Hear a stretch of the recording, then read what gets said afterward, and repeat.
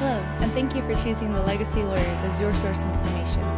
We know this might be a difficult time you are going through, but we are here to educate you and help you through the process. Please stay tuned for our question and answer portion. Good morning, Aaron. Good morning, David. How's your Monday going so far? It's very good. It's very good. It's it's it's it's very uh, hopeful in that the week is going to be delightful Well, following good. this day. That's really good to hear. Okay, so you know, this week we're talking about bonds. Mhm. So this is our second in our five-part series this week. Okay. What happens if you aren't eligible for a bond? Okay. So, except for very limited circumstances, the conservator uh, is required to post a bond for finances if they are to be conservator of the estate. So, uh, generally speaking, if you don't qualify for a bond at all, uh, you're not a good choice to be a conservator of the estate. However, there, uh, the more common situation that people deal with is I don't qualify for enough bond. So let's just say that there are no other interested or better choices uh, to be conservator of the estate.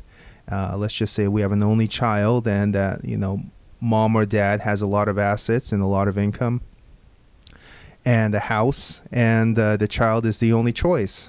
And the bond is going to have to be something like, you know, $500,000 and uh, what we have is a hundred let's just say four hundred thousand dollars in cold hard cash and a hundred thousand dollars in securities or something then the uh, child who is appointed conservator can seek to chip away at the amount of bond required so generally speaking you don't have to bond for the personal residence because generally speaking that requires some sort of court order to sell the residence so you're not going to be bonding for real estate generally speaking.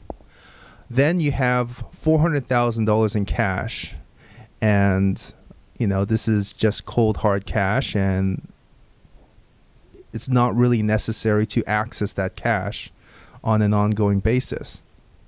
So what you can do is, in lieu of bonding for that money, you can ask the court to authorize you to place X amount of dollars into a blocked account. So that is a court ordered blocked account. And what that means is the court recognizes that, that there's this cash and they're going to authorize a deposit into a bank account where no withdrawals may be made without court order. So the court has sufficient comfort that the conservator won't just be writing checks out of that account. They're going to actually have to ask the court for permission, say, I have a special circumstance in which I need to draw this money out, and uh, I'm going to give you the exact amount, and you're going to give me an order for withdrawal of that exact amount to a specific payee. So, to that effect, there's no free access to the account, and you can chip away at the bond amount by having a lot of the cash be put into a blocked account. Uh, this is actually quite common in our practice. And uh, so that's uh, one way to reduce the bond. Another way to reduce the bond is if the conservator uh, is not the spouse or is the spouse and there's community property and community income, you know, there's uh, some exclusions for management of a conservatorship estate.